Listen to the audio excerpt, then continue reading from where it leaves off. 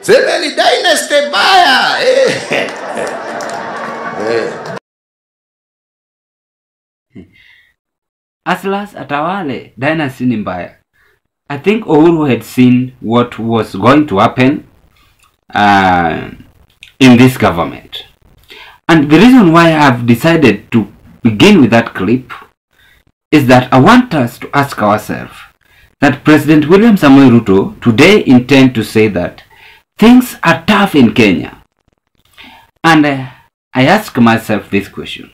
If things are tough in Kenya, why couldn't he allow Uhuru to rule or seek advice from Uhuru Muigai Kenyatta? Because it seems that it's telling us that Uhuru is the one who made things to be tough. What is he saying? I am happy that I am the president of Kenya. When things are tough, because when they are, it needs someone like me to lead. If it was someone else, Kenya would have already sunk. And uh, I don't think that is the right, the right speech president deserves to give Kenyans as they are really, really suffering for this economic crisis. I want us to read Proverbs chapter 12 verse 15 says that the way of a fool is right in his own eyes, but a person who listens to advice is wise. So this goes to Kenyans and also to the president. Kenyans had done a mistake. They were convinced by sweet tongues. That one tells you that when the deal is so good, think twice. Ruto enticed Kenyans like a man seducing a lady and trying to brag with a kahaya or trying to brag with loan money or trying to brag with brotherhood or inheritance. Then the lady gets into love, then after that things turns worse. Why couldn't this lady just search for a man and start from zero? That is what Kenyans lacked by that time. Now we are regretting. Ladies and gentlemen, welcome once again to our YouTube channel, Zion Kenya TV. I believe that this video is going to find you well wherever you are. I want to take this golden chance, actually, to thank you very, very much, members, for the great effort you are doing through your subscriptions, like, and also comment. May continue with the same spirit, and our good God bless you so much. You are making this channel to grow big. Our aim is to reach a thousand subscribers by the end of this month, of which is possible, and I believe as I am seeing your effort, you are making it to go far. Keep on with the same spirit. And if this might be your first time again watching me at Zion Kenya TV YouTube channel, kindly take a one second and subscribe. Watch the video, like the video, share and give us your opinion. I'm very shocked that today the president was speaking in Dagoretti. And if he's saying that things are tough, is Uhuru the one who made things to be tough under his administration? As I've just displayed Uhuru Kenyatta and what Ruto have said, and even what I'm still repeating from the writing I'm just displaying. And today's analysis, we want to analyze why is Ruto saying that Kenya could have sunk? It means that he knows something secret. And I will still keep on saying that president need to seek advice from the ex-president Uhuru Muigai Kenyatta. Advice is always very essential in human life. When you humble yourself, you get uh, teachings from somebody, then after that you will understand better. That is what Ruto lacks. He lacks wisdom and he don't want to be corrected. He lacks firmness and he don't want to listen to Kenyans. Things are going apart and yet is saying, believe me or not, God willing, before 2027, our country is going to sink, as Ruto is saying. And it is simple. Is either invest to recover the economy, to avoid or let him avoid traveling in each and every country across the Africa, across the world, like USA, China, Middle East, the rest. I don't want to mention the name. And reduce also the some government office. Then Ruto is going to be on the right track. I want us to read some of the comments here from Kenyans after Ruto had just today felt Kenyans with a nightmare on that unwanted speech that Kenyans don't deserve. This is what at Mavin Tubia is saying four hours ago. Very clear.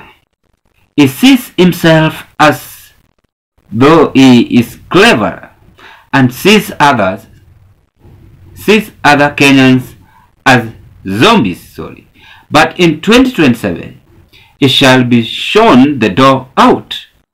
It is such a disappointment. God help us. It's very sad.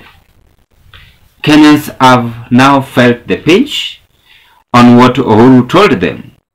We disobeyed and we are now enjoying this painful life. The truth is that, ladies and gentlemen, life is getting tougher. If it is getting easier for you, you have uh, enough time to thank God. So many Kenyans are suffering. And from this today's president's speech, Ruto have seen that Kenyans are vulnerable. He knows back on his mind, in his mind, that life is really getting worse to Kenyans. And I'm very much sure that he can rectify this. Who is behind this man? That is what we want to analyze that. If Ruto is saying that things are tough in Kenya, the commander of defense forces, the boss in the country, I want us to view at this that president feeling his people is feeling his people is sorry is happy about hardship. Yes. That is what president seems to feel that Kenyans are happy about hardship. Because from that writing I've just displayed, it seems that he is bragging, that's saying it needs someone like him, like me, like him, to lead. So he is he understands the hardship better than Kenyans. The one speaking that way, the son, the, the, uh, the, his family can never sleep angry, will never sleep angry, will never lack anything in their life. Even if they want to go to Dubai, they just take a second and go. If they are sick, they have personal doctor who treats them. Then coming to Kenyans and lying for them, that is the one suffering most than Kenyans. Somebody somewhere have slept in the street with a sober mind. It is not because he is not capable. He is capable indeed, or she is capable indeed, but because of the bad government. That statement which have been made today by the president at Dagoretti, Nairobi, cannot reveal to Kenyans that Ruto cannot understand what economy is or he can't rectify the life that Kenyans are passing through. He can if he invest, if he stop narratives and concentrate in his administration. Again, I can view as it seems that he is hopeless, helpless regime in his administration. He's seen he, he just need to seek advice from the ex-president Uhuru Kenyatta or the former Prime Minister Raila Amolo Odinga. And again, does not see sinking leadership under his administration? Sinking leadership comes from just the comment I've, I've picked one. By the way, I picked it under what Ruto said today. That is Kenyans and said that the the comment that comes from Kenya, our Kenyans, is likewise to his colleagues.